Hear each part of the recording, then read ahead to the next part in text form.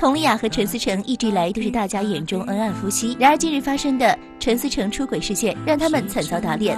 而随后佟爸爸的回应，更是让网友们心酸。据悉，当年佟丽娅曾被陈思诚妈妈瞧不起，一直觉得佟丽娅出身低微，所以最近才传出了离婚风波。要说陈思诚的背景确实十分惊人，干部家庭出身的陈思诚，从小就喜欢唱歌、朗诵等一些颇具文艺气息的事情。因为家庭条件优越，陈思诚的每样要求，父母一般都会答应他。成长在温室。的陈思诚，为少年不识愁滋味。此前，陈思诚出轨一事在网上引起热议，有网友还翻出了佟丽娅和陈思诚结婚的时候，佟丽娅的爸爸嘱咐自己的女儿和女婿的话。佟丽娅爸爸对佟丽娅说：“结婚后多做饭多干活。”现在想想不禁有点心酸。滴答滴答滴答滴答，寂寞的夜和谁说？